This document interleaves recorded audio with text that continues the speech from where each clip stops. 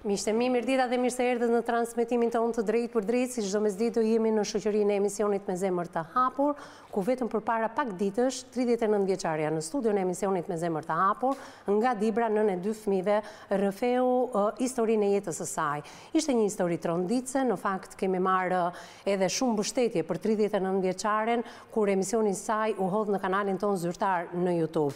Ishte pikërisht dhuna që nuk kishte ushtruar vetëm ish-bashkëshorti i cili vuante nga skizofrenia dhe ajo i kishte mësuar 5 vite pasi ishin martuar, po vjehrri dhe vjehrra ishin edhe dy dhunues të tjerë, të cilët në nëntor të vitit 2020 jo vetëm që e dhunuan 39 vjeçaren, po e larguan dhe e përzunë atë nga shtëpia së bashku me dy fëmijët. Në emisionin e parë, deri përpara se të ishim në transmetim live, si çdo ditë në televizionin News 24 dhe në radio News 24, djali i saj 16 vjeçar kishte vendosur ta mbështeste nënën në një studio paralel në mënyrë anonime, por në minutën e fundit ai ndërroi mendje. I ngarkuar shumë emocionalisht, ai nuk mundi ta përballonte emisionin e parë. Edhe këtë emision e ka shoqëruar nënën Motër e vllata janë dhe gjenden në ambiente të televizionit News njëzet e katër, por e kanë të pamundur të mbështesin nënën e tyre në këtë transmetim live. Si është gjendja emocionale dhe psikologjike e fëmijëve do ta diskutojmë vetëm pas pak për të rikujtuar të gjithë ata që e kanë humbur transmetimin live, por edhe duke klikuar në kanalin tonë zyrtar në YouTube, ju një material i përgatitur nga kolegja Imani Lakmataj.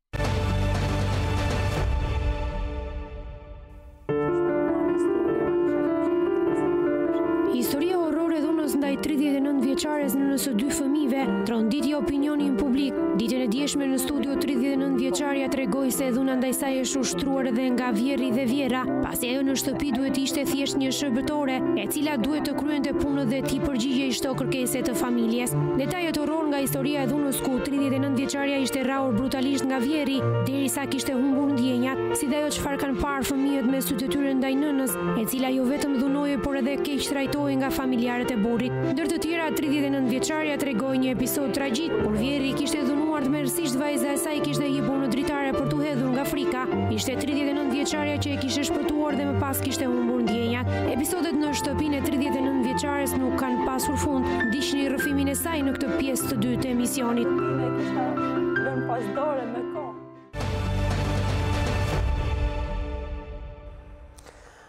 Skllavëri në kohë moderne do ta quanim historinë e zonjës Manushaqe. Në emisionin e parë ajo ka treguar detaje në kufijtë e të paimagjinueshmes duke ditur se jemi në vitin dy mijë e njëzet e tre dhe gruaja ende vuan në familje ku nuk dhunohet vetëm nga ana e burrit, por dhunohet edhe nga ana e vjerrit edhe e vjerrës. Kemi folur në këtë studio në emisionin e parë që pikërisht vjerri dhe vjerra janë të mirë arsimuar, njëri ekonomist dhe tjetra infermiere, e kanë dhunuar derisa tridhjetë e nëntë vjeçares i kanë rënë të fikët, por ka mbledhur forcat sepse vajza që aktualisht është pesëmbëdhjetë vjeçe kishte hypur në dritaren e banesës dhe qante me ngashërim, i ka dhënë ndihmë fillimisht vajzës dhe më pas ka rënë pa ndjenja, teksa ka telefonuar njëqind e dymbëdhjetën, policinë, dhe ka thënë fjalën alo, ka qenë bashorti që i ka rrëmbyer telefonin dhe kjo telefonatë me policinë për të denoncuar dhunën në familje nuk u bë kurrë. qëndroi dhe një muaj me familjarët e ish bashortit duke mos komunikuar fare me ta dhe më pas ajo gjendet mes katër rrugve së bashku me fëmijët. Unë Manushaqen, ashtu siç kam premtuar në emisionin e parë, e kam përsëri në këtë studio për detaje të tjera pse jo për t'u ballafaquar edhe me palën tjetër, sepse akuzat kanë qenë shumë të rënda nga ana e 39 vjeçares, por për të folur dhe për situatën në cilën ajo gjëndet, pse ajo kërkon një ndihmë urgente ditën e sotme, Jo vetëm për veten e saj, por edhe për dy fëmijët. Me mua në studio zonja Manushaqe, përshëndetje, mirë se erdhe. Përshëndetje. Nga emisioni i parë dhe deri sot që flasim, ke pasur telefonata, ka detaje të reja, në qoftë se je telefonuar nga ish-bashorti, nga vjerri, nga vjerra? Jo, jo, nuk ka. Në redaksinë e emisionit Me Zemër të Hapur, nga klikimet, nga komentet, kur është hedhur në rrjetet tona sociale, historia jote ka shkaktuar debate. Ka shkaktuar debate për shkak të detajeve horror që ti tregove në këtë studio.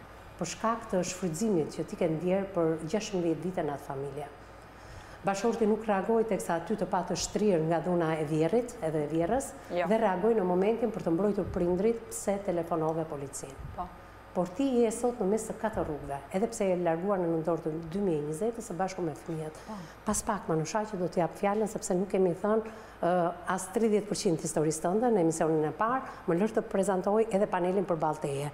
E njëjta avokate do të jetë me ne në studio, Brunilda Lika, përshëndetje, mirë se erdhe. Përshëndetje, mirë se ju gjeta. Faleminderit, kemi shumë për diskutuar ditën e sotme. Po, në fakt. Në krahun tënd kemi sociologen Miranda Rira, përshëndetje Zoj, mirë se erdhe, pedagoge, ish kryetarja e Bashkisë së Prrenjasit. E them këtë gjë vazhdimisht zonja Miranda për të treguar se si duhet funksionojë pushteti vendor dhe mbi të gjitha kjo zonjë ka shkuar, ka kërkuar punë me dinjitet për të rritur fëmijët me dinjitet. Nuk është kryer ende divorci sepse është bërë ai truku për të mos paguar pensionin ushqimor, pas pak të dalin të gjitha materialet ekskluzive se çfarë ka ndodhur midis çiftit, gjë që nuk e kemi bërë në emisionin e parë për shkak edhe të një aktualiteti që kishim atë ditë. Megjithatë, besoj se edhe Bruna do të japi komentin e saj të plotë ditën e sotme, duke e falenderuar për mirëkuptimin në emisionin e parë që ka dhënë vetëm një ekstrakt të shkurtër të mendimit të saj. Do të flasim pikërisht për atë trukun, çfarë ka ndodhur sepse njerëzit e dëgjojnë që nuk është kryer divorci dhe thonë si ka mundësi sepse në Shqipëri nuk ekziston si në vendet e tjera. Pjesa ku çifti duhet të mendohet një afat kohor, por në qoftë se kërkon qoftë edhe njëra palë, gjykata e merr këtë vendim. Në këtë rast nuk e ka marrë vendimin për shkak se babai i atyre dy fëmijëve nuk kërkon të paguajë pension ushqimor për dy fëmijët dhe ka përdorur një truk për të cilin ti do flasësh vetëm pas pak. E vërtetë, po. Okej. Manushaqe, jemi më të qetë sot, po. sepse në, në emisionin e parë ke qenë super e emocionuar. Po. Shikoj pak emocione, por do t'ia dalim mbanë, ti je e fortë. Ju kërkoj ndjesë se nuk mundem të shprehem lirshëm, kërkoj ndjesë dhe publikut. Jo, nuk ke pse kërkon ndjesë. Se nuk jam mësuar me emisionet, nuk jam mësuar të flasësh. Nuk jam mësuar jo, të flasësh. Jo, atëherë, ne jemi konsultuar me psikolog, por edhe me zonjën Rira përpara se të hynim në transmetim. Ngërçet që ti ke, sepse ti je një Manushaqe tjetër, kur je jashtë emisionit, po. në një ambient pa këto dritat e studios, po. pa këta njerëz të tjerë prezent, mm. je më e çlirët. dhe nuk para flet për episodet e dhunës. Kur flet për episodet e dhunës, sidomos nën shkëlqimin e këtyre dritave dhe kamerave, ti ke një ngecje sepse të kujtohet pikërisht ajo që quhet në gjuhën profesionale të psikologëve flashback, të rikthehen edhe një herë ato çfarë ti ke përjetuar. Dakord? Kështu që mos kërko ndjesë se është e mirëkuptueshme. Edhe ne të mirëkuptojmë dhe unë prandaj jam këtu për të të ndihmuar ty. Dakord? Mos më falendero se kjo është puna ime e dashur. Dua të di, nuk ke pasur asnjë lloj reagimi nga pala tjetër të paktën? Jo. Siç ndodh me të gjithë personazhet, ti jo. Jo, jo. As unë. Thjesht heshtje totale. As unë dhe as fëmijët. As fëmijët. Kjo është gjë e mirë. Kjo është shenjë e mirë. Për ne është shenjë e mirë. Për ne është shenjë e mirë. Që nuk ke pasur. Jo, s'kam pasur. Sepse frikësohen njerëzit të vijnë dy herë, tre herë në këtë emision. Sepse sapo dalin nga emisioni i parë, sapo ndodh ballafaqimi, rimerren, kërcënohen, shantazhohen, shumica prej tyre rivijnë në këtë studio, se e kanë marrë parasysh. Por ka dhe një pakicë të vogël që nuk rivijnë më, për shkak të shantazhit. Deri më sot? Deri në këtë moment? Jo, dhe uroj të vazhdojë kështu. Ka pasur debat në rrjetet sociale për ty, sepse detajet që ti ke treguar kanë qenë në kufi të paimagjinueshmes. për vitet në të cilat ndodhet, por edhe për guximin dhe kurajon tënde që në gjendje të fikti i dhe ndihmë vajzës, e cila kishte hypur në dritare dhe po bërtiste, sigurove vajzën dhe pastaj aty u dorëzove. Aty u dorëzove. Aty u dorëzova. Po. Sepse në çdo moment unë fëmijët i kam, janë përpara meje. Unë kam vendosur edhe pjesëtarë të familjes ku isha martuar, i kisha vendosur përpara meje, jo më fëmijët e mi. E kuptoj. Kam sakrifikuar çdo gjë për ta mbajtur të bashkuar familjen. Do ndalojmë pak te dita e largimit tënd. Po.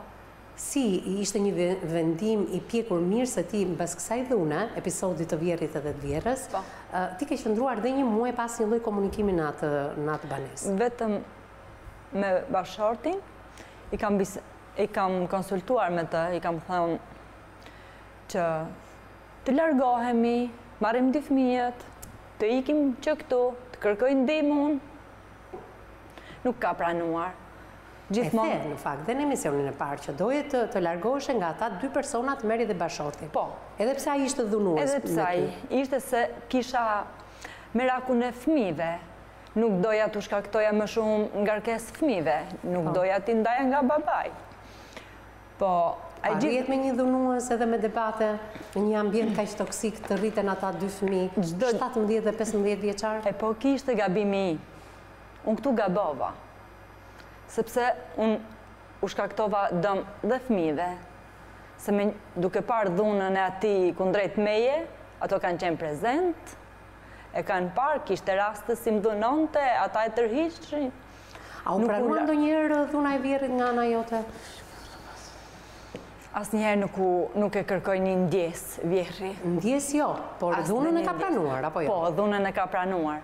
Sepse Ti e ke provë sot atë? Po. Unë në moment që qetësohem, për të vërtetuar se ai vërtet e bëri atë veprim, sepse në çdo moment ata e mohonin, po. se si silleshin, kundrejt njerëzve të tjerë ata mohonin po. çdo gjë.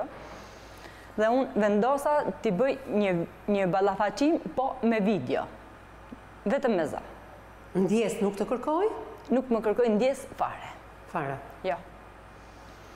Ja kërkove ti të kërkonte ndjesë? Ja kërkova bashkëshortit të më kërkonte ndjesë. Do ta falje? Nuk e besoj. Nuk do ta falje? Nuk do ta falja. Ai jo vetëm që s'e ndjeu, po edhe pas kërkesës tënde nuk Nuk do ta falje. Nuk do ta falje. Nuk do ta falje. Jo. Mirë. Ë dhuna ishte një çështje kulture brenda kësaj familje, të paktën ju më thatë, po. kërkova ballafaqim më the. Po. Me vjerrin nuk më kërkoi falje, por pranoi dhunën. Po, pranoi. Ne e kemi na e ke servirur mundësinë që ne të dëgjojmë dhunën që ai ka pranuar përkundrejt teje. Do t'i lutesha në këto momente regjisë ta japim këtë material ku vjerri pranon dhunën që ka ushtruar ndaj teje dhe rikthehemi për ta komentuar në këtë studio. Po.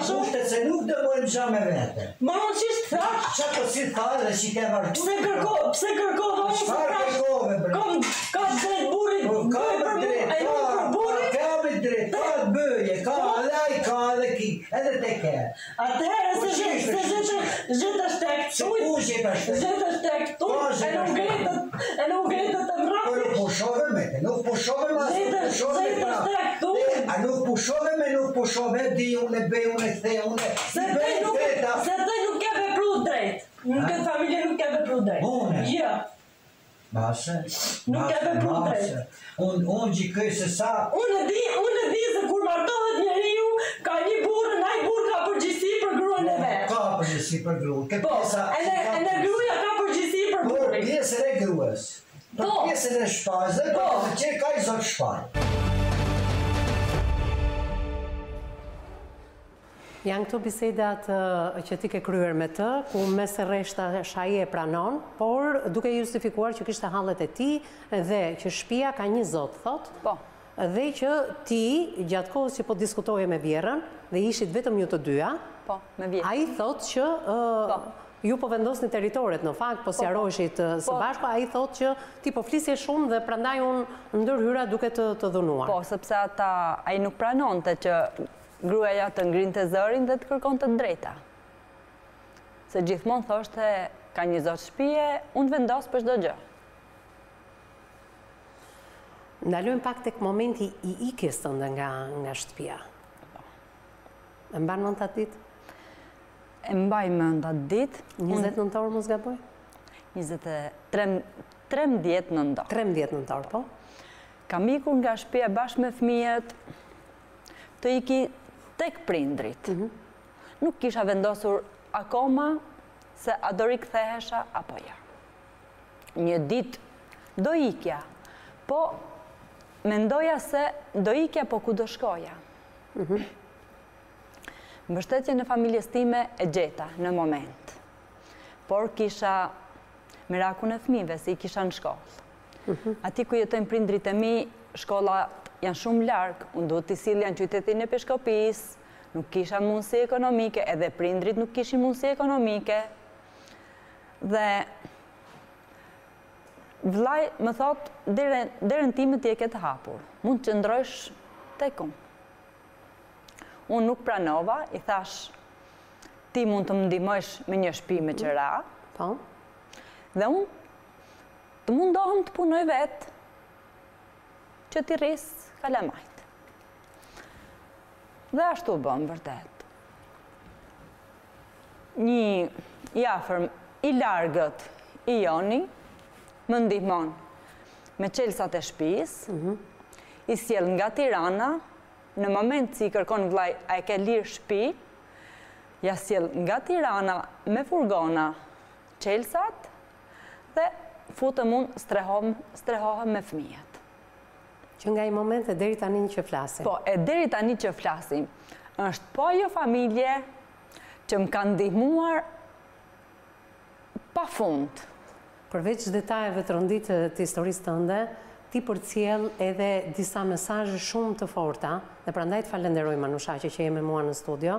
Është kënaqësi që ke zgjedhur studion e emisionit Me zemër të hapur për të treguar jo vetëm detajet e tmerrshme të dhunës së ushtruar nga burri, vjehrri dhe vjehrra, por edhe mesazhe se si duhet të veprojë familja e origjinës, nëna, babai, vllai, motra, teksa një vajzë apo një grua vendos të divorcohet, me fëmijë apo pa fëmijë. Derën e shtëpisë ti e ke pasur hapur. Po. Po çdo nënë do sillej si si je sjellë ti.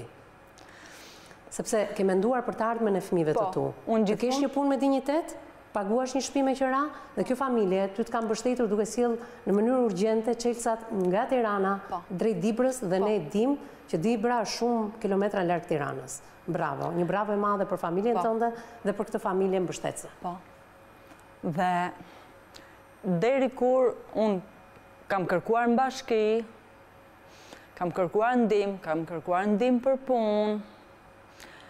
Nuk më nuk më janë hapur dyert. Kjo është një tjetër version. Do dalim dhe do flasim gjatë këtu. Por jemi po. pikërisht tek momenti ti largohesh? Po. Merr plaçkat, merr fëmijët largohesh. Jo, nuk mora nuk ma, nuk marr asnjë gjë. As uh, rrobat e trupit? Jo. Marr po si ike? Marr vetëm dy fëmijët. Po. Po si ike? Dhe i the mirupafshim, u ndave? Nuk i thash asgjë thjesht ika tek prindrit. Do shkoj tek prindrit. Prindrit edhe nuk u kthevem kurrë. Dhe po. Po e kishe paralajmëruar. Po e kisha paralajmëruar. Okej, kur ka qenë momenti? Po e kisha paralajmëruar. Se dua të ndal tek divorci, se është përdorur një truk aty. Pas dy ditësh, pas dy ditësh vjen bashkëshorti. Po.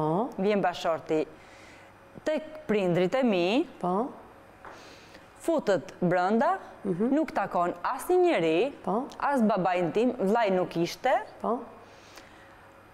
as mua as fëmijët nuk na takon, vetëm ulet në dhomë dhe më thotë hajde në shpi. Hajde në shpi se s'ka ndodhur asgjë. Pati guximin që në prezencë të tyre të thotë s'ka ndodhur asgjë. Po, po. Pati guximin, nuk e di a ishin mendimet e veta apo ashtu e kishin mësuar prindërit e vet, se ai gjithmonë ka qenë i ndikuar nga prindërit. Dyshon për këtë gjë? Po dyshoj. Po? Jo dyshoj, po jam e sigurt. Po familjarët e tu? Kërkuan llogari, shpjegim për këtë gjë? Po, kërkuan llogari, në fakt. Çfarë iu tha? Në fakt, babi im është i sëmurë dhe është me zemër dhe nuk është në gjendje të përballet me njerëz. Mhm. Atë ditë që erdhi bashkëshorti, vetëm ka thënë këta dy fjalë dhe unë i thashë nuk pranoj më të kthehem në atë shpi dhe është larguar. I kam thënë prit vllajnë U largua i qetë? Apo i nervozuar? U largua me shpejtësi. Vetëm ka thënë këta dy fjalë dhe është larguar, se ai kaq e kishte. Shkarkoi fjalën që i kanë mësuar dhe se s'ishte më në gjendje të përballonte realitetin. A, se nuk e ka ditur çfarë do presi. Tha vetëm dhe përcolli vetëm fjalët e mësuara. Po. Fëmijët në atë kohë me babain?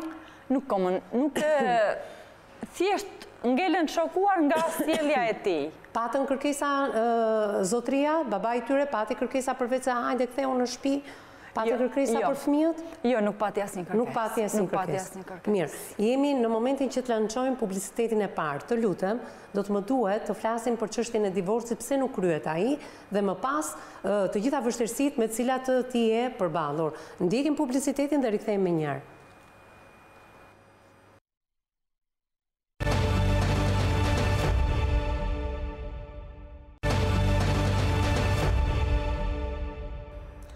Mbas pjesës së parë dhe pas hapësirës së parë publicitare jemi në pjesën e dytë të këtij emisioni dhe vazhdojmë diskutimin pikërisht tek çështja e divorcit. Në momentin që bashkëshorti mbasi është larguar zonja me dy fëmijë tek prindërit ka shkuar për t'i kërkuar dhe një herë që nuk kishte ndodhur absolutisht asgjë, dhuna si duket për zotin Bilbil qenka më se normale, është përballur me familjarët e 39 vjeçares dhe është larguar nga banesa. Këtu pastaj zonja ka treguar që jeton në Peshkopi së bashku me dy fëmijët Një familje e ka ndihmuar deri në ditët e sotme.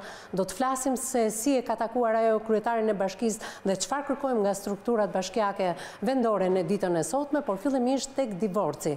Çfarë truku po përdor pikërisht Bilbili në lidhje me mosdhënien e mjeteve për jetesë të dyja të dy fëmijëve. Po e them në gjuhë ligjore, pra pensionin ushqimor të përmuajshëm, që do vendoste gjykata është përdorur një lloj truku. Me sa duket Kam, ka pasur konsulentë të mirë ligjorë, por gjithsesi ne do ndalojmë këtu.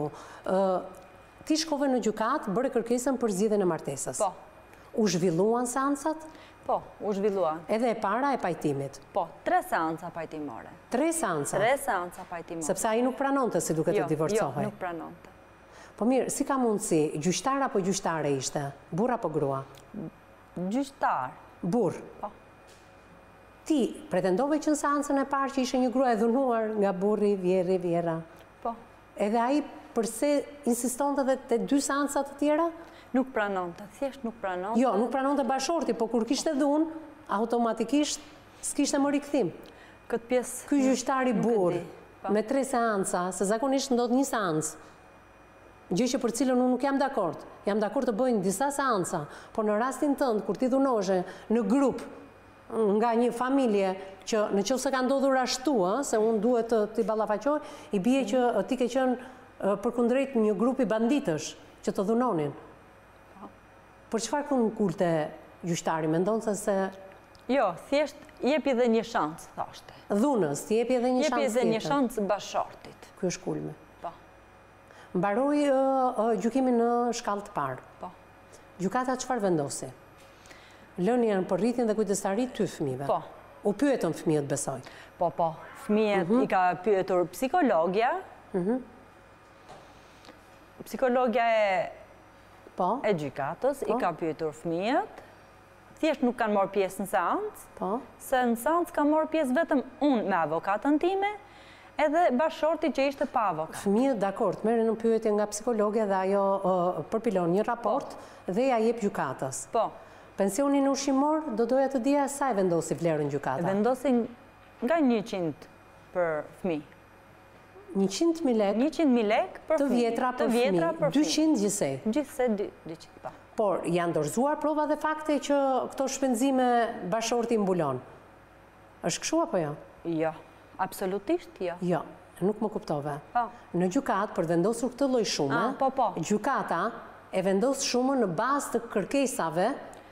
që ti ke, por edhe përballimin që ka bashkëshorti për ty... Po, po. Domethënë, ishte... Po, po, është ndjeni. Prandaj është vënë shuma 200.000 lek. Po, po, gjykata e ka vendosë. Ka pasur mjete për ta përballuar ai këtë gjë. Gjykata e ka vendosë. Jo, gjykata e ka vendosur, por e ka parë të arsyeshme, po. sepse ai e ka këtë lloj mundësie, po. për t'i paguar fëmijëve. Po. Deri më sot që ne flasim, ka paguar ai ndonjëherë? Jo. Çfarë ndodhi mbas gjykimit të shkallës parë? Çfarë bëri bashkëshorti yt? Bashkëshorti... E apeloi vendimin? E apeloi pas tre seancave. Mhm. Në ditën e fundit, po? se unë po e ndiqja mhm. se si do shkonte dhe po pritja që të zbardhet vendimi, në ditën e fundit bën apelin dhe sjell në gjykatën e Tiranës, në gjykatë të apelit. Dhe deri më sot, vendimi nuk ka marrë formë të prerë. Po. Edhe për këtë truk që ndoshta ka menduar bashkëshorti se ka një ekspert ligjor shumë të mirë, mhm. duke apeluar këtë çështje, mhm. ne do flasim me avokaten tonë, që si mundesh ti, t'i marrësh ato 200.000 lek të vjetra, jo ti, po fëmijët e tu, po. sepse i duan dhe për mund, ndoshta janë shumë pak, për bashkëshortin tëndë janë shumë, shumë, një shumë e konsiderueshme. Mund të themi çfarë ka apeluar ai, pensionin ushqimor besoj. Ai ua ka pohuar edhe fëmijëve, ua ah. ka pohuar edhe fëmijëve sepse unë Çfarë ka apeluar? Po, pensionin ushqimor apo ndonjë kërkesë që jo, kërkon ai kujdestarinë e jo. fëmijëve? Për shembull, me fëmijët ka diskutuar që unë s'mund t'ja jap divorcin Ah, ai ka kundërshtim edhe për zgjidhjen e martesës. Unë s'mund t'ja jap divorcin po? për arsye se nuk jam nuk mundem të paguaj për ju. Ah. Ky është arsyetimi. Ah, kuptova. pra, unë nuk e divorcoj nënën tuaj po? sepse s'kam mundësi të paguaj. Po. E kuptoj. Po. E kuptoj. Mirë, ne në fakt kemi një material audio përsëri, mhm. ku është një bisedë shumë e shkurtër e djalit edhe babait. Po. E ftoj regjinë ta ndjekim në këto momente dhe ta komentojmë bashkë.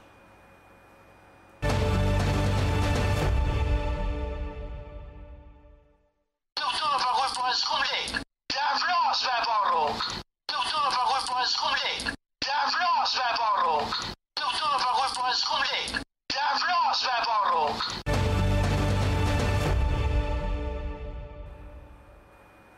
Kishe pati një reagim. Po, po. Pse reagova?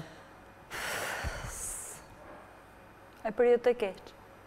Të me thonë, nuk japë asnjë lek e vras, po e pash në rrugë. Po. Janë shumë të rënda fjalët.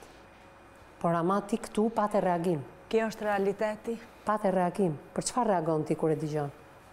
Tronditem. Tronditesh.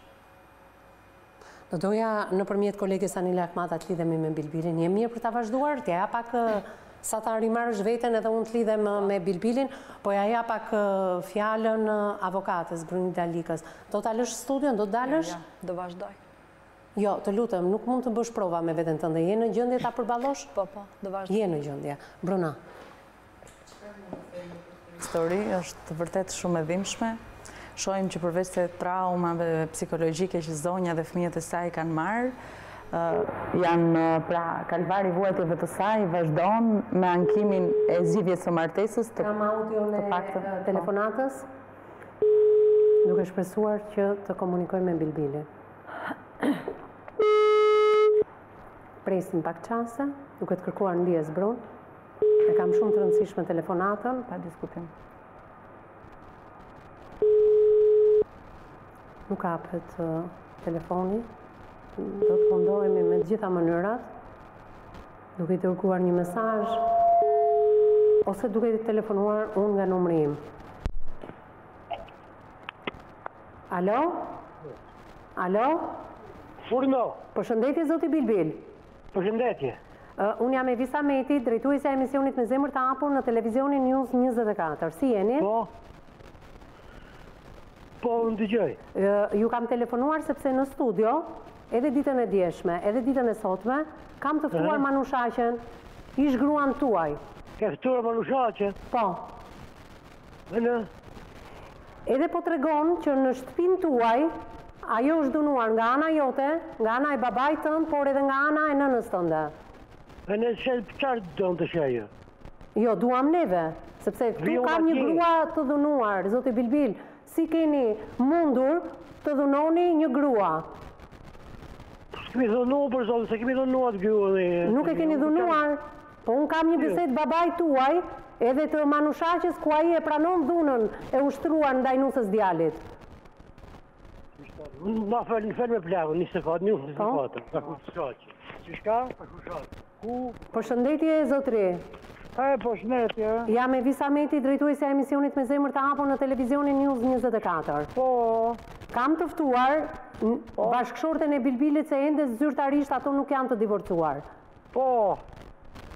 Dhe, ajo ka treguar që ju e keni dhunuar së bashku me bashkëshorten tuaj dhe me djalin tuaj. Po. Kemi dhe një material, një bisedë, ku po. ti po diskuton me Manushaqen dhe ke pranuar që e ke dhunuar këtë të fundit. Po. Do doja të dija, kush janë arsyet që mund të dhunohet nusja e djalit? Arsyet? Po. A nuk t'i ka thënë ajo? Jo, unë e di që dhuna po? nuk ka asnjë lloj justifikimi, çfarëdo që të ketë po. bërë Manushaqja, por më po. thoni ju çfarë ka bërë ajo për të merituar dhunën tënde? Po. Ti si ajo nuk është martuar me ty, është martuar me Bilbilin. A, është e qartë, është me Bilbilin, po. Po pse e keni dhunuar, pse e keni rrahur? He? Pse e keni rrahur, zotri? Po nuk të tregoi se ka pas thikën në dorë? Ka pasur thikën në dorë, për çfarë e ka po, pasur thikën në dorë? Tu pre, tu pre, tu pre një pite për drek, po? edhe s'ka pushu s'foluri, pusho i her të hamë drek, pusho edhe... Po pse duhet pushonte? Kam kapë edhe t'i nxirr thikën. Po pse duhet pushonte, zotri, pse duhet pushonte? Po duhet pushonte gojën. Po mirë, ama ka pasur dëshirë të të shprehet, ajo në këtë studio edhe nuk shprehet, e kemi shumë problem. Po s'ka se si shprehet ajo, ajo duhet të shprehet se çfarë ka ba, e kupto, se nuk kemi çmendun, as të lujtun. Po çfarë ka bërë, pra çfarë ka bërë, se po fliste? Po po çfarë ka bo e din ajo se çfarë ka bo. Po na e thoni ju zotëri se ajo thotë nuk kam bërë asgjë, na e thoni ju që ne pastaj të të flasim me zonjën. Si si s'ka si s'ka bo asnjë sen, ajo ka pesë katërmbëdhjetë vjet që ka jetu me Bilbilin në familjen tonë. Po. Po. Edhe e din ajo se çfarë ka bo.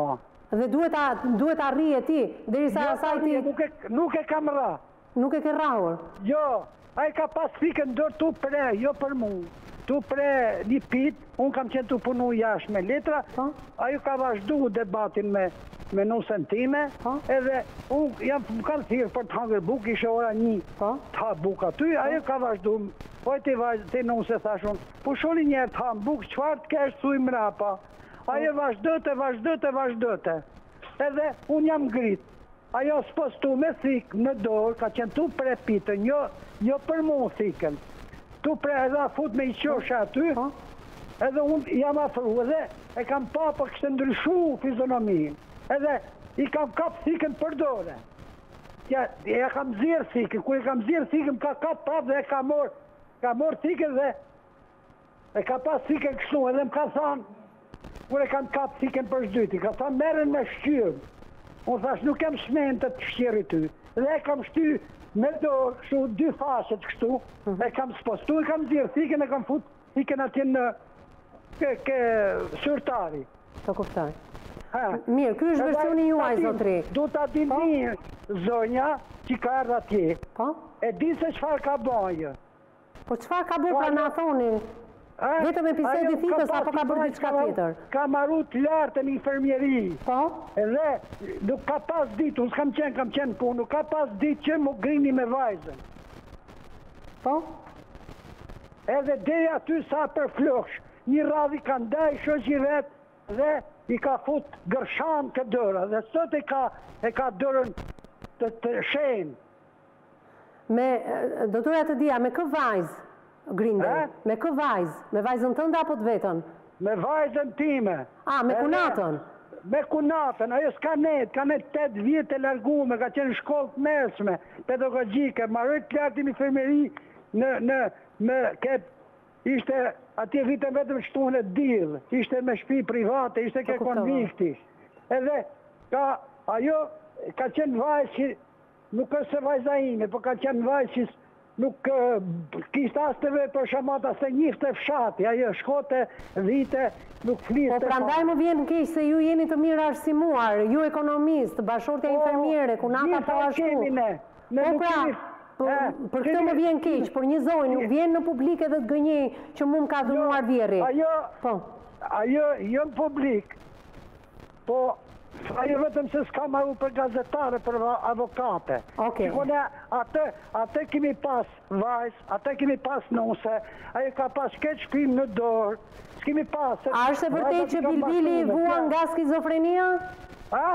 Është e vërtetë që Bilbili vuan nga skizofrenia? Po po ka kalu një traumë. në Greqi edhe ka erdh ka erdh ai edhe është mjeku me to dhe ja ka pru shumë gusht taj është është fmi që as ka ba 15 po pse nuk ja keni treguar që në fillim Manushaqes po, si këtë që po e ka zbuluar Bili ka thanë vajza ime kur kemi ba rrobat, unë kam qenë për t'i çu fjalë ati jatit asaj që djali m'a smun, pra në gji, gji ashtu mos e mor se dhe unë kam marrë. A e ka dhunuar ndonjëherë Bilbili Manushaqen se skizofrenia manifestohet me shenja dhune? Jo, nuk e ka dhunu prej skizofrenie, e ka dhunu prej gojës vet. Duke sha, duke ofendu, se nuk di njerë. O zotëri, po si mund ta pranosh këtë gjë në publik, që burri ka rrahur gruan për shkak të gjuhës së vet? Për gjuhën e vet e ka, ka se me qenë. Po si mund ta pranosh kaq kollaj, vjerri pranon që djali i rreh nusen? Të lutem tani, si mund ta pranosh kaq publikisht? Na ka rrah, na ka poshtru, na ka denigru. Po çfarë ju ka bërë pra, ju ka poshtruar, denigruar për çfarë? Për çfarë? Familje familja e degjenerume ku ishim degjeneru ne ku kam gjashtë motra katër vëllezën njëzet e gjashtë miqësi plus në ja gjashtëmbëdhjetë nipër e mbesa pa martu dhe nuk na ka ba vaki ka shku për të nejt ke prindinët dhe nuk është kthy po e tha atë e tha po ju kishte paralajmëruar nga episodi i fundit që ju e keni rrahur së bashku me gruan atëherë mirë pra zotëri ju besoj nuk e keni rrahur po pranoni publikisht bilbili Jo nga skizofrenia, por e gjeni fajin këtu. Unë e paske duja kur i ka thanë, kur ka qenë aty tu bë debat, i ka thanë shkofsh, shkofsh dhe ti si vajza jote dhe ka ngritë shkopin. Të lutem, të lutem. Atëherë, ndjekim, ndjekim një bisedë zotëri. Për ta vërtetuar edhe dhunën që ti ke ushtruar ndaj Manushaqes, do ndjekim një bisedë tënden edhe të Manushaqes ku ti ke pranuar që e ke dhunuar për shkak se nuk e mbyllte goja, siç po e pohon në këtë studio. Ti e ke pohuar aty në atë bisedë. E ndjekim, dëgjoje, është zëri jot. E kam shty me dorë. O po të ishte për të rraf ti merri të dhana në fshat.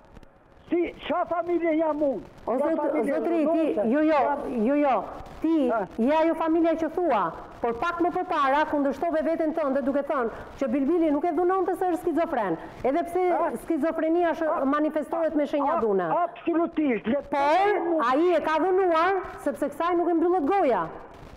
Dhe këtë ne nuk e kuptojmë si mund ta thuash kaq, kaq publikisht. Nuk i mbyllet goja, s'ka për t'iu mbyllë goja asaj femre.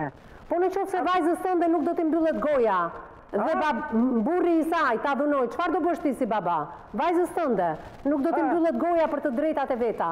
Po çfarë drejta ka pas, çfarë, Çfarë të drejtash ne? Atë të drejtë që ka pas edhe djali jot, me të drejta të barabarta, si Bilbili dhe Manushaqja. Djali im, merrni të dhënat, hajni në fshat, edhe shikoni që pesëmbëdhjetë vjeç jeton djali. Zotëri, unë mjafton, mjafton diagnoza që ai ka, skizofreni. Një minutë, le diagnozat. Kategoria e dytë.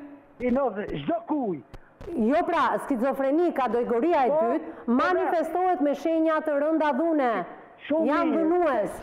Po, tashi, Hajde në fshat dhe pyt nji gjashtëmbëdhjetë vjeç që ka ik nga Greqia djal nga dy mijë e pesëmbëdhjeta mos ka bo një llaf të keq me nji fshatar mos Po ka pa pa diskutime po brënda shpisë fshatar. të dhunojë gruan dhe babai i tij ta ta pohojë live dhe publikisht kjo është shokuese kjo është shokuese Ashtu ty të duket shokuese Atëherë e ndjekim pak të lutem zotri e ndjekim pak bisedën tënde dhe të Manushaqes Po nuk ka nevojë me e ndjek regjia e ndjekim. e kam pas katërmbëdhjetë.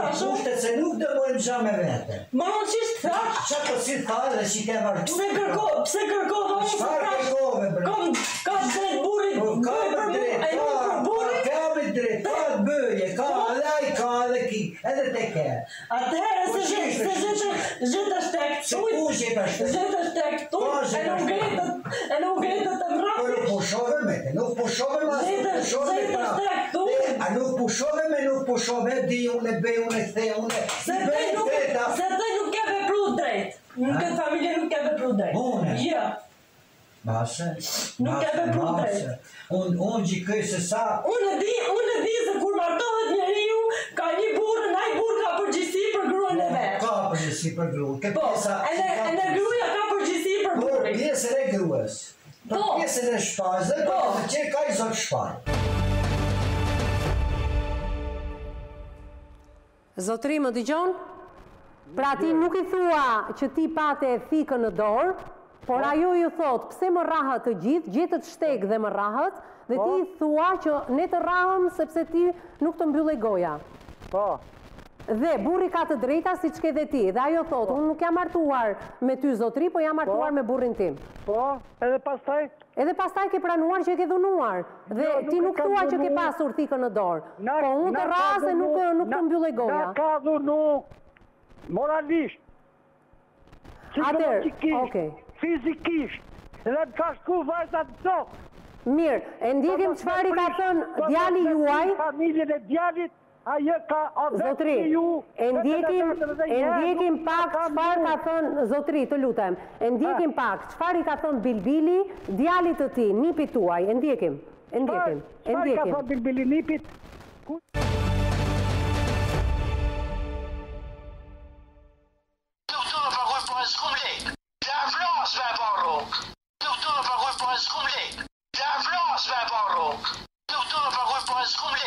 Do e vras me e pa rrugës.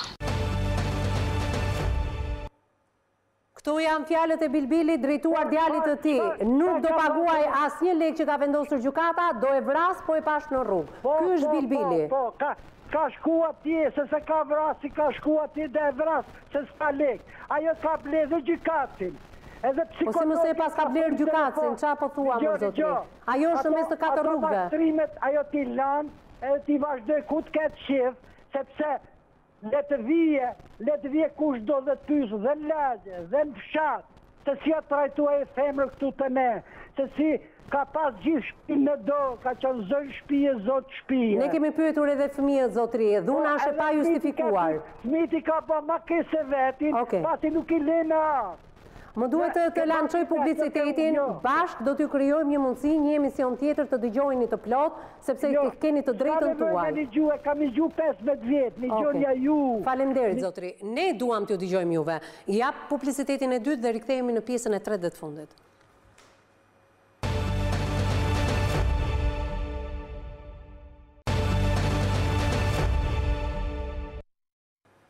Mbas hapësirës së dytë publicitare jemi në pjesën e tretë dhe të fundit të këtij emisioni. Pjesa e dytë dhe fundi i saj u shoqërua pikërisht nga një përballje shumë e rëndë e Bilbilit, bashkëshortit të 39 vjeçares zonjës Manushaqe, i cili menjëherë kaloi telefonin tek babai i tij tek zoti Selman. Selmani na ka shokuar të gjithëve, nuk ka pranuar që ka dhunuar pikërisht nusen e djalit, edhe pse në bisedë kuptohet fare mirë, tregoi episode të tmerrshme Çfarë e ka detyruar sociologen Miranda Rira të shkojë në ambientet ku ndodhen fëmijët të cilët nuk po e monitorojnë dhe e them me siguri të plotë këtë emision. Janë në një ambient që nuk dëgjojnë asgjë nga emisioni me zemër të hapur dhe me pesëmbëdhjetë vjeçaren e cila ka qenë e pranishme kur gjyshi ka dhunuar nënën e saj, është zonja Miranda Rira që po diskuton me pesëmbëdhjetë vjeçaren dhe vetëm pas pak ajo do hyjë në studion e emisionit me zemër të hapur për të na dhënë versionin e vajzës. Por, elementi shumë i tmerrshëm nga rrëfimi i zotit Selman ishte thika që mbante në dorë pikërisht kjo zonjë. Dhe gjatë hapësirës publicitare ajo ka treguar detaje të tjera në lidhje me thikën. Atëherë, do doja të dija, ishte një detaj ku ai thoshte piten tha po e priste me thikë dhe prandaj unë vetëm e kam shtyrë i kam marrë thikën, ndërkohë që ti thua nuk është e vërtetë dhe unë pres zonja Rira të na bashkohet. Ti ke thënë që në gjithë këto vite ke fjetur me thikë. Si, si është kjo çështje e thikës? Se bashkëshorti mbante thikë ndër jastëk. Poshtë jastëkut? Po, po poshtë jastëkut. Po për çfarë e donte thikën? Po sepse ai ishte i sëmurë. Ishte i sëmurë edhe? Po. Për çfarë i duhej thika? Nuk e di, unë kam fjetur me frikë Gjithë kohën. Po. Jo vetëm për vete, po dhe për fëmijët. Po. Është bashkuar zonja Rira në studion e emisionit. Më duhet të marr komentin e saj. Nuk e di, e dëgjove që çfarë tha zonja në lidhje me thikën, që bashkëshorti ka fjetur prej shumë vitesh me thikën poshtë jastëkut, thikë përmendi dhe Selmani, është e tmerrshme, ky emision po bëhet horror dita ditës. Shkove dhe takove vajzën 15 vjeçare se ka qenë prezent, dëshmitare, çfarë thotë? Vajza ishte shumë e trembur, edhe të them të drejtën u ngarkova dhe unë emocionalisht, sepse është një fëmijë i vogël ende, vetëm 15 vjeç dhe ajo ka parë gjithë skenën, kur gjyshi i saj ka dhunuar nënën e saj, edhe përmendi gjithë atë, le themi, kalvarin e vuajtjeve që ka hequr e ëma. Pak më parë Manushaqja na tha këtu në këtë studio se fëmijët janë për atë në fillim, pastaj vjen jeta e saj dhe kjo është sublime për një nënë, sepse kush është nënë e kupton që nevojat dhe gjithë, le të themi, rëndësia që kanë fëmijët janë parësore.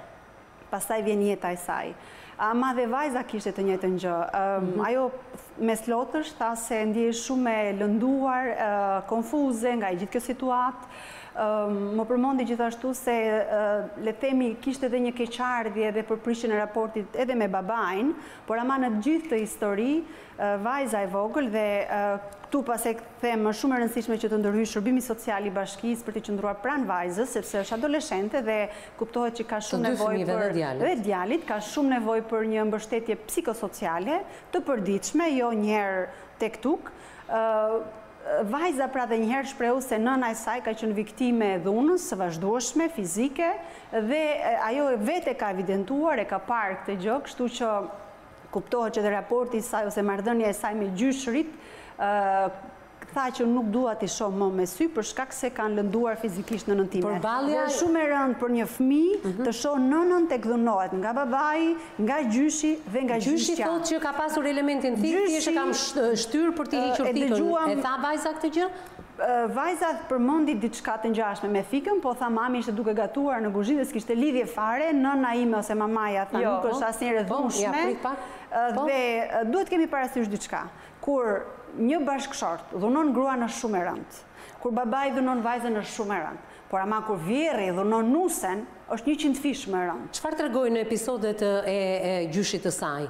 Mami ishte duke gatuar, po gjyshi çfarë bënte? Mami ishte duke gatuar, por gjyshi ishte ai i cili gjithmonë tha e ka, le të themi e ka trajtuar keq nënën, mamanë time, Manushaqen pra, për arsye ti s'di ti s'bën dhe nga gjuha verbale që gjyshi ose Selmani përdori me Manushaqen unë arrita të kuptoj Tregoi elemente dhune çfarë kishte bërë gjyshi ndaj nënës ai i tha e goditi e goditi e goditi dhe vajza është dëshmitare kam shtyrë dhe i kam marrë thikën vajza dhe djali pohuan se ata panë nënën e tyre të goditur nga gjyshi dhe thashë shumë e rëndë kur vjerri atakon godet abuzon Gjuha e përdorur nga Selmani nga vjehrri në këtë studio. Gjuha verbale shumë e ashpër është. Me ne, me ne, me ne. Me ne dhe me ne patjetër që është një gjuhë shumë agresive. Domethënë, Bilbili e ka rrahur, po jo se është skizofren. Bilbili e ka rrahur tha sepse asaj nuk i pushonte goja. Domethënë mua m'u duk, nuk e di ju tha që ata të dy kanë arsimin e lartë, por nga komunikimi i gjyshit, domethënë një njeri prepotent, kështu që s'i bëhej vonë fare, ore gjysh, ore, ore njeri, ore vjehërr, nuk preket vajza e botës, nuk preket as vajza jote. Por as nusja e djalit nuk jetojmë njëqind vite përpara.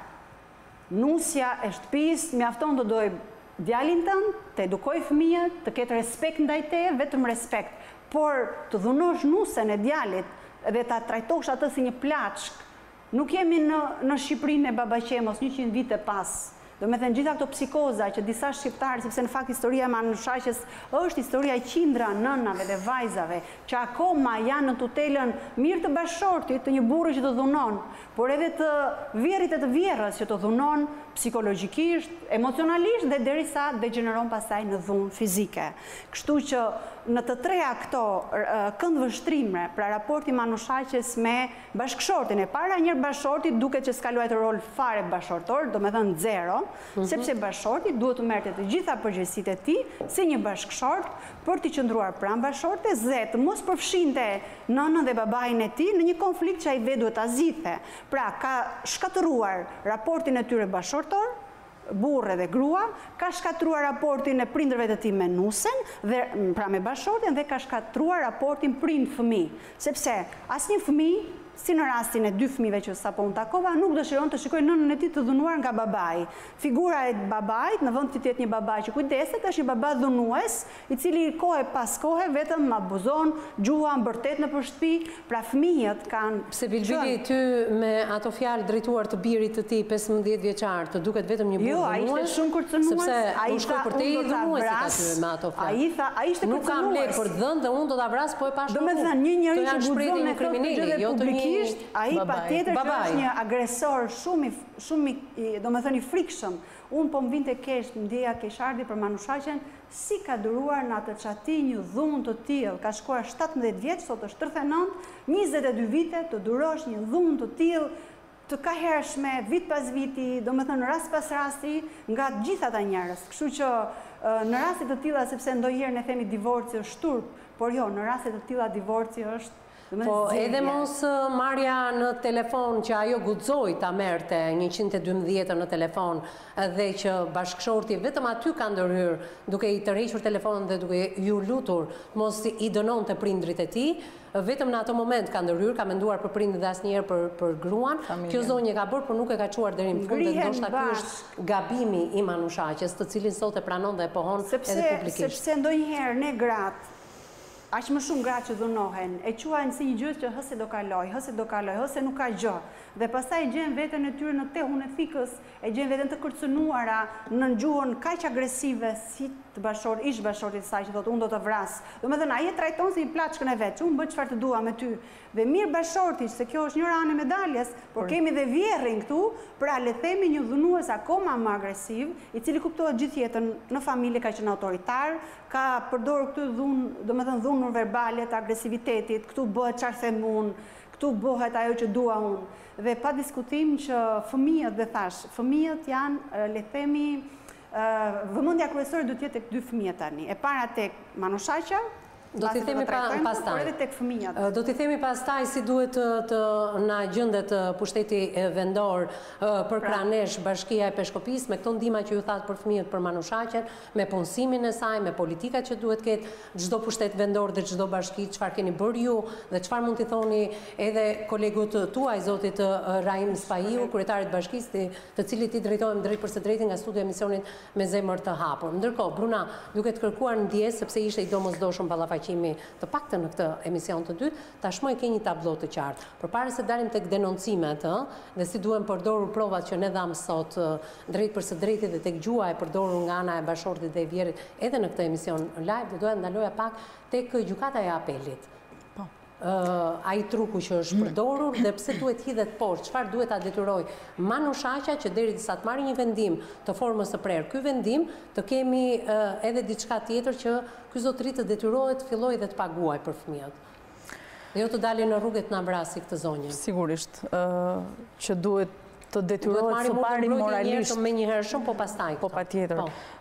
Së pari duhet moralisht të detyrohet sepse është babai. njësoj si nëna dhe ai është babai dhe duhet të kontribojë financiarisht për rritjen dhe edukimin e këtyre fëmijëve. Çfarë janë ato vendimet e përkohshme derisa të marri vendim të formës prerë? Po, por tashmë ka ka mbaruar procesi në civile në shkallën e parë dhe është në gjykatën e apelit dhe derisa të dali një datë pra këtë vendimet e ndërmjetme që ju po vendimet e ndërmjetme vendimet e ndërmjetme merren Por gjatë një shqyrtimi gjyqësor, në këtë rast ne nuk jemi gjatë një shqyrtimi gjyqësor, ka përfunduar zgjidhja e martesës në shkallën e parë dhe tashmë i padituri, bashorti, ish-bashorti i zonjës e ka apeluar. E ka apeluar me motivin në fakt është shumë qesharak sepse motivet kanë qenë Që shkalla e parë nuk kanë ndjekur një proces të rregullt ligjor, është mohuar e drejta. Me seanca pajtimi jo të rregullta? Është mohuar e drejta e tij që ai të parashtrojë arsyet e tij, provat e tij për të kundërshtuar dhe unë nuk e kuptoj çfarë do kundërshtonte. Çfarë kundërshton? Pra këtë thotë që pensionin ushqimor apo edhe jo nuk kundërshton pensionin ushqimor, kundërshton kryesisht pra mungesën e për një proces të rregullt ligjor në shkallën e parë dhe më pas kundërshton edhe rritjen lënien për rritje dhe edukim dy fëmijët e mitur nënës dhe në fakt e ka pretenduar ai nuk e kuptoj se si mund s'ka gjykatë në botë që mund t'ia lëjë një babai të tillë që e ka dhunuar patjetër si mund të rritet një Fëmijët adoleshentë të cilët janë pyetur, ë? Nga psikologja, së pari. Vendosin fëmijët vetë për se me kë duhet të rrinë. Emisioni i dytë, në fakt, ka qënë, ka provuar çdo fjalë që Manushaqja ka thënë në studion tuaj, ka provuar dhunën, se të gjitha bisedat, telefonatat dhe incizimet e regjistruara pra nga zonja Manushaqe, përbëjnë provë. Pa diskutim që ajo vërtet ka përjetuar dhunë fizike dhe psikologjike. Atere. Nuk është vonë. Më të komunikoj që zonja Manushaqe të denoncoj. Më komunikoi në kufje, diçka shumë interesante për ta diskutuar bashkë në këtë studio, kolegia ime Anila Ahmataj. Në audion, ku duket komunikimi i djalit tënd dhe i babait të tij, bashkëshortit tënd, ende bashkëshorti yt, ne kemi shkëputur vetëm këtë pjesë të vogël, sepse kjo bisedë vazhdon. Por me kërkesën tënde është hequr një pjesë e bisedës ku djali thotë, Nuk na ka rrëmbyer mamaja. Ne kemi ikur me dëshirën tonë. Pse nuk e ke dashur ti këtë pjesë? Që ne ta pasqyronim, të ishim realë. Jo nuk e kam dashur unë, po thjesht djali e ka problem sepse mund bullizohet, mund... Ose me ndonjë truk të ah, zërit. Oh, okej. Mund ta të të kuptova. Mosnjohja e zërit në publik e po, djalit. Kjo ishte edhe marrëveshja që ke bërë me kolegen time. Po, kjo është. Pra, Anila që e ka dokumentin e plotë, e ka audion e plotë. E ka got. Jo, e ka Anila një herë po. fillimisht, të lutem, më lër ta po. përfundoj. Thotë që unë e kam dëgjuar kur djali i thotë që ne nuk na ka rrëmbyer mamaja. Ne kemi ikur me dëshirën tonë. Po sepse ai mund të ketë pretenduar që i ka rrëmbyer edhe është larguar nga banesa. Jo, e pretendoi dhe këtë. Atë që tha zonja që unë ika duke i thënë që po ik ik ke njerëzit e mi, po, atë e tha. E kanë quajtur rrëmbim. Truk, mashtrimi. Qartë. E kupton? Dua ta përgëzoj zonjën Manushaqe që mbi të gjitha vendos djalin e saj në këto momente, pra po respekton po dëshirën e tij edhe vetë. Në fakt është një shembull sepse ka marrë dy fëmijët e saj, është larguar, është, pra ka zgjedhur që të jetojë me qëra, të gjejë një punë të ndershme dhe të mbajë pra të rrisi dhe edukojë fëmijët e saj. Ndalojmë pak si rrallë po. herë në elementet teknike ligjore, këtë vendim të ndërmjetëm nuk mund të kemë. Nuk mund të kemë. Bëj një pyetje me këtë kaos që kanë gjykatat tashmë me ligjën e ri. Po. Kush e di se kur do t'i vijë radha në gjykatën e apelit kësaj çështjeje? A mund të presi kjo nënë?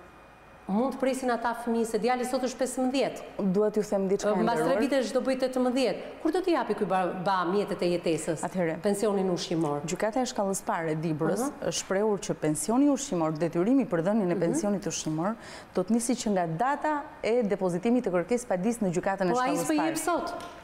Le të lodhet sa të dojë në Gjykatën e Apelit. Data e cila do të fillojë detyrimi për dhënien e ushqimit e pensionit ushqimor është nga data e depozitimit të kërkesë padisë. Kur mund ta kërkojmë ne këtë vendimin e ndërmjetëm, Bruna, të lutem? Në Apel, në Apel, por tashmë nuk sepse dhe seanca e Apelit, dhe seanca e Apelit është me një seancë të vetme do të mbyllet.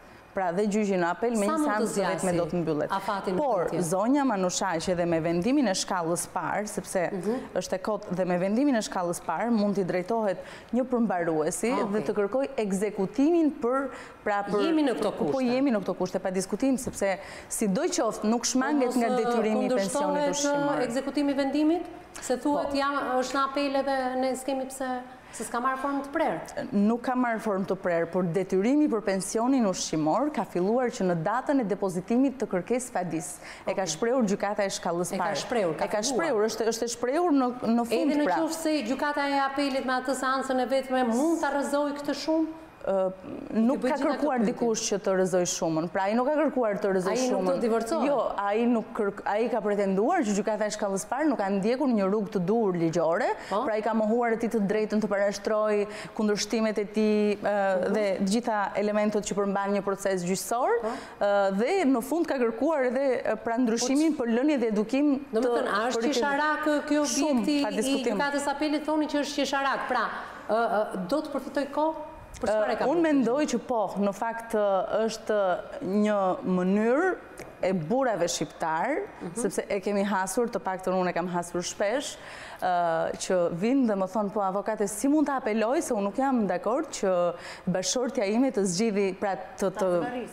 Po, po sepse po. bashkëshortët shqiptarë të zgjidhi martesën dhe të vazhdojë jetën e saj, po, sepse mendojnë që do të japin atë lirinë, pra ai do të vazhdojë ta mbajë nën pra nën nën dhunë, nën presion, nën është edhe një gjë interesante tek burrat në Shqipëri që unë nuk dua t'i jap asaj për bashkëshorten ose ish bashkëshorten nënës së fëmijëve lek. T'i përdori ajo si të dojë. Harrojnë që këto para i shkojnë fëmijëve.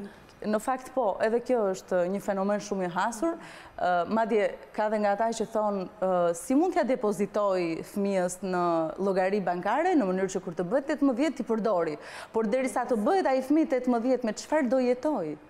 Pra, është një pikëpyetje, si do jetojë? Jo, për çfarë i duhen pas 18, dhe se ai do jetë i zoti vetes? Po, është një koncept i gabuar dhe Sa më herët ta kuptojnë burrat në këtë vend që martesa zgjidhet me pëlqimin e njërës palë dhe nuk ka rëndësi pëlqimi i palës tjetër, mjafton të ketë një ndër elementët dhunë, pra që martesa e ka humbur qëllimin për të vazhduar. Me audio dhe me këto materiale që ne vërtetuam gjithçka e thënë nga Manushaqja në këtë studio, por e pohuar edhe nga ballafaqimi.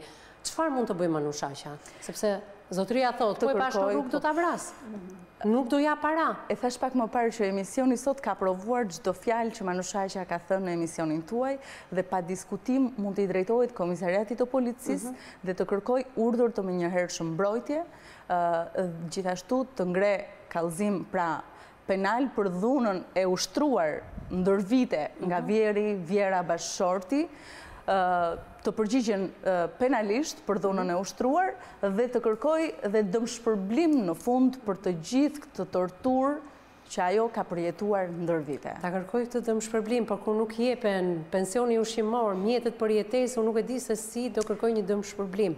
Gjithsesi, ne do t'i ndjekim të gjitha hapat, ëh. Manushaqja është e fortë. Rrugët ligjore janë këto. Po, një grua që vjen për mirarsimimin e fëmijëve në Peshkopi lë fshatin nuk i bëhet barrë as prindërve edhe pse dyert dha një mesazh shumë të bukur, ëh, një familje e jashtëzakonshme që ka bërë detyrën si qytetar në radhë të parë, apo jo, i ka hapur dyert, por ajo thotë që mua më duhet edhe për shkak të disa problemeve shëndetësore që vajza ka, të rrijë në Peshkopi. Por e ka të pamundur, një familje e ka ndihmuar këto tre vite, tani nuk ka asnjë mundësi, sepse edhe nuk është punësuar, dua punë me dinjitet, thotë, mhm. të punoj, jo lëmoshë. Në fakt, në rolin e prindërve të Manushaqes, unë kam takuar vetë prindër në kohën kur isha në detyrë sekretare bashkie, të cilët më thonin nuk e duroj do të ma rrahë ai zotëria, pra vjehrri apo dhëndri në këtë rast, mhm. ish-bashkëshorti, sepse unë vetë nuk e kam rrahur. Kështu do ta marr vajzën time, të hajë kripë, bukë e kripë me mua se sa të po. ma rrahë ai atje.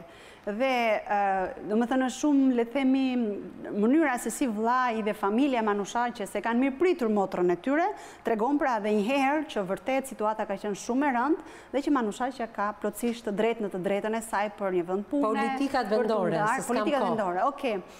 Mendoj që në rastin konkret, Peshkopia është një qytet i vogël, kryetari i bashkisë së Peshkopisë, së Dibrës, zoti Rahim Spahiu, të cilin unë e njoh pak personalisht, nëse ai mundet apo nëse na dëgjon, do t'i kërkoja shumë që rastin e punësimit të Manushaqës ta ketë prioritet, sepse çdo bashki në fakt raste të tilla, target grupe të tilla, si ato që kanë qenë viktima të trafikimit, që nuk është ky rasti, por viktima të dhunës po.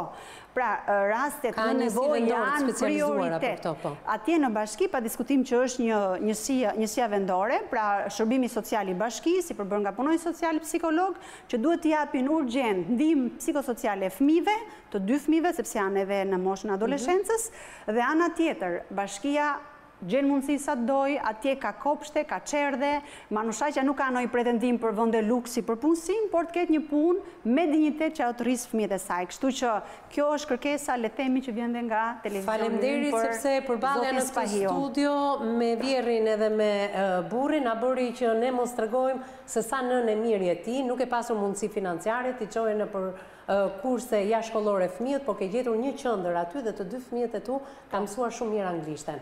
Jam në fund dhe nuk kam kohë. Falenderoj Brunën, falenderoj edhe sociologen. Fjala e fundit e jotja. Vetëm me një fjalë, të lutem. Çfarë do thuash?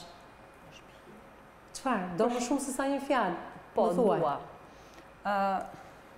Fëmijët e mi janë kanë mësuar tek një qendër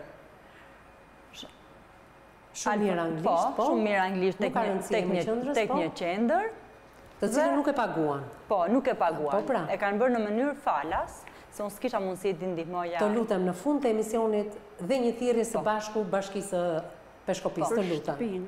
Bëj një thirrje jo vetëm bashkisë, mhm. po gjithë qytetarëve kush të ketë sado pak mundësi Më ndihmojnë me një banesë, qoftë sado e vogël. Në Peshkopi, një me qira të ulët ose ndoshta edhe pa qira derisa të vihen disa politika të bashkisë përkundrejt teje, se do jemi dhe ne pas teje tani. Po, sepse unë në shpinë që ndodhem aktualisht, pronari i shpisë është i detyruar që ta shesi shpinë.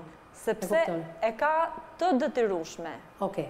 Unë të falenderoj Manushaqe, do jemi bashkë në kontakt, do ta realizojmë, besoj se nga Peshkopia, nga Dibra, dibranët mbahen për zemrën e pastër dhe shumë të hapur dhe shumë të madhe, që mund dhe dikush të të afrojë ty një banesë dinjitoze brenda qytetit, po ashtu do t'i drejtohemi Personalisht edhe unë me ndihmën e sociologes Miranda Rira, kryetarit të bashkisë dhe ata të kryejnë disa detyra dhe detyrime që kanë përkarshi teje dhe fëmijëve të tu. Të falenderoj dashur. Mundem. Faleminderit dhe gjithë ju miq që na keni ndjekur drejt për së drejti në televizionin News njëzet e katër. Faleminderit për mesazhet e shumta, denoncimet, në rrjetet tona sociale bëni këtë gjë, në Facebook dhe në Instagram na gjeni emisioni me zemër të hapur. Keni numrin e kontaktit fiks dhe atë celular.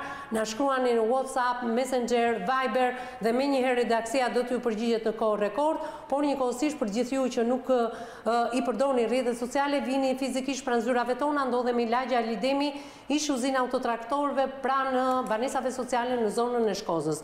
Ndërkohë emisionin e plotë e gjeni pas pak të hedhur në kanalin tonë zyrtar në Youtube, emisioni me zemër të hapur dhe aty gjeni të përditësuar çdo emision por klikoni tek emisioni i ditës dhe tek emisionet tona ndër vite.